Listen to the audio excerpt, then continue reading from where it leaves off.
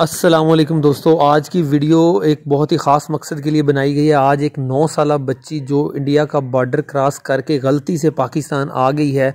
आज हम उसी को मिलने, उसका इंटरव्यू लेने, उसकी आवाज़ बनकर, पूरी दुनिया तक उसकी आवाज़ को पहुँचाने के लिए आपके सामने हाजिर हुए हैं, ताकि वो बच्ची अपने माँ बाप से मिल सके।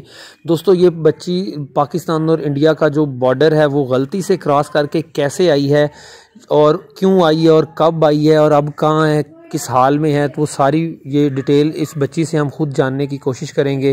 तो आपने दोस्तों वीडियो को आखिर तक लाजमी देखना है और मेरे इस चैनल को भी सब्सक्राइब कर दें और साथ लगे बेल के आइकन को भी लाजमी प्रेस कर दें। जी नाजरीन तो अब हम उस बच्ची के पास पहुँच गए हैं जो नौ साल लड़की है और पाकिस्तान और इंडिया का बॉर्डर क्रॉस करके गलती से आ गई है। ये गाँव वालों ने इन, इसको देख लिया और इसको अपने पास ले गए। अब हमें पता चला है कि ये इस गाँव में रहती है तो अब हम उसका इंटरव्यू लेने आपके सामने। इस स्क्रीन पर ये मौजूद है वो लड़की। नाजरी नौ साल लड़की है ये। पता नहीं गलती से आ गई है और इसकी कहानी जानते हैं ये कैसे बॉर्डर क्रॉस करके पाकिस्तान आ गई। जी बेटा रोए मत रोए मत बेटा। आपका नाम क्या बेटा? छाया कुमार। छाया कुमार आप इंडिया से आई हैं यहाँ पे बॉर्डर क्रॉस करके? हाँ जी। बेटा आपके अब्बू का क्या नाम है? सुनील कुमार। अच्छा वो वो क्या काम करते हैं? वो स्कूल में टीचर है। बेटा आप रोए ना रोए ना आप तहमुल रखें हम आ गए हैं अब आपके पास इंशाल्लाह आपकी जो ये जो आपकी आवाज़ है ये पूरी दुनिया तक पहुंचेगी आप रोए मत। अच्छा नाजरीन तो ये आप देख रहे हैं इस बच्ची इसके आँसू नहीं रुक रहे हम इसका क्या इंटरव्यू लेंगे लेकिन मैं कोशिश करता हूँ कि ये अपना जो हमें बता सके ताकि आप तक सब पहुँच सके इसकी आवाज़। तो बेटा आपको पता है आप इस वक्त कहाँ पे हैं? पाकिस्तान आ गई हूँ मुझे पता है। ये आपको कैसे पता है? किसने बताया आपको ये? मुझे यहाँ के अंकल ने बताया। यहाँ पे एक अंकल तो ये आपका घर है? ये आपका मुल्क है? नहीं मैं गलती से इंडिया से पाकिस्तान आ गई हूँ। तो बेटा रोने की इसमें क्या बात है? ये भी आपका घर ही है आप टेंशन ना लें। नाजरीन ये आप देख रहे हैं बच्ची के आँसू नहीं रुक रहे अपनी माँ बाप को याद करती है और वो घर जाना चाहती है। गाँव वाले भी उसको तसल्ली दे रहे हैं लेकिन वो बच्ची है कि उस मानती नहीं है क्योंकि दिल है उसका वो चाहती है कि मैं जल्द से जल्द घर जाऊँ।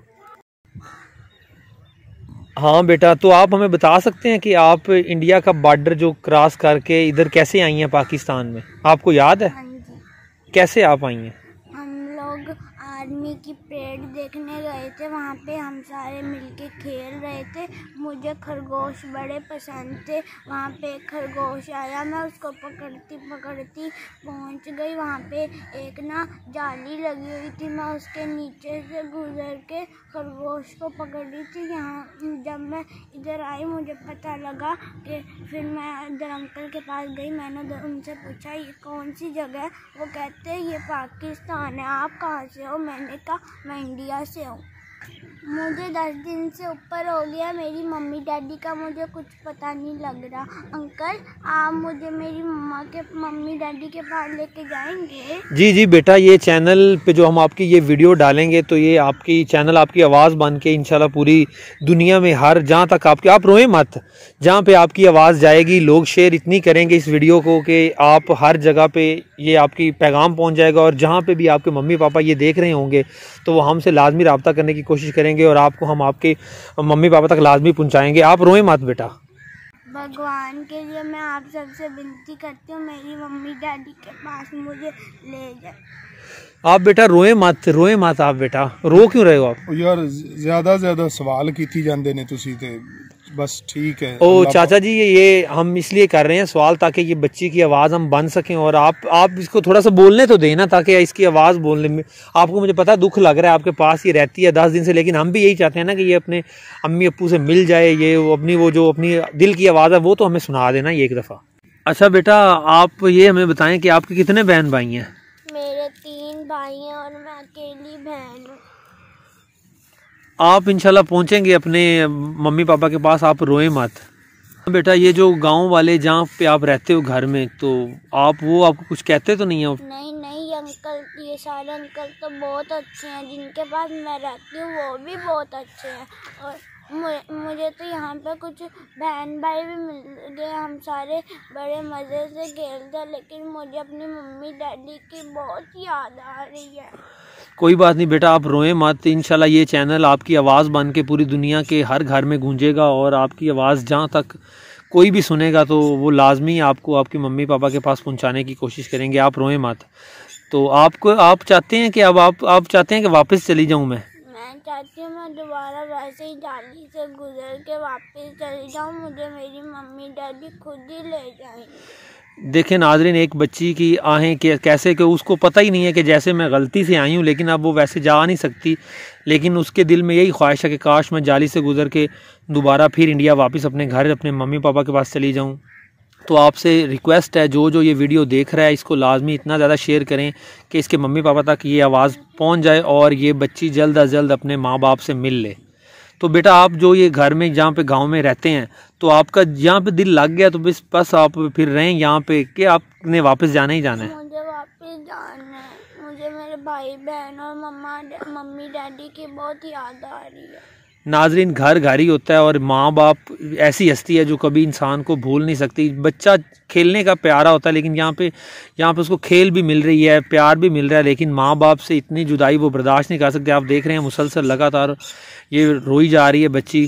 नौ साल बच्ची गलती से आई है पाकिस्तान तो पाकिस्तान और पूरी दुनिया में जो ये लोग मेरी वीडियो देख रहे हैं, उस, उनका फ़र्ज़ बनता है कि हम ये, इस पैगाम को पूरी दुनिया में इतना फैलाएँ इतना फैलाएँ कि इसके पैगाम जानने वाला कोई ये सुने वीडियो और उसको इसके माँ बाप तक पहुँचा। जी हाँ दोस्तों, आपने देखा नौ साल की बच्ची जो गलती से पाकिस्तान और इंडिया का बॉर्डर क्रॉस करके इधर पाकिस्तान आ गई है और गाँव वालों के पास रह रही है तो आपने उसकी बातें भी सुनी और हमें अब उसकी आवाज़ बंद कर इस चैनल के ज़रिए इस बात को पूरी दुनिया में फैलाना है और इतनी दूर तक पहुंचाना है कि जो भी इसकी कोई आवाज़ सुने तो वो लाजमी इस तक पहुँचाए और हम इसके माँ बाप तक इसको मिलवाएँगे।